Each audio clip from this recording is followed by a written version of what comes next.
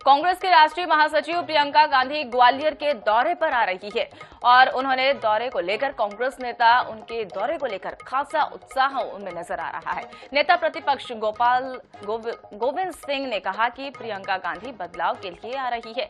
उन्हें दावा किया जा रहा है कि ग्वालियर की जनता कांग्रेस के साथ है। गोविंद सिंह ने कांग्रेस को ओबीसी वर्ग का हितोषी करार दिया गया है।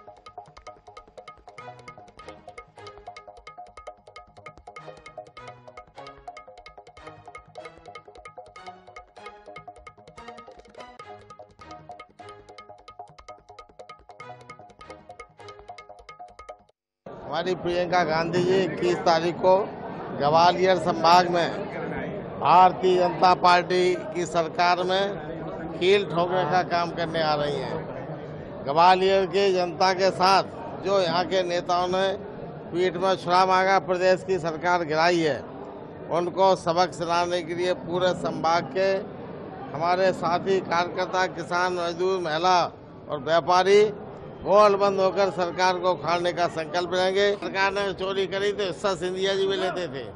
लिया होगा, ऐसा हो नहीं सकता। वे सरकार के प्रमुख थे, नेता थे। अगर चोरी में हुई है तो उसमें सिंधिया जी का शामिल होना एक लाख परसेंट सही है।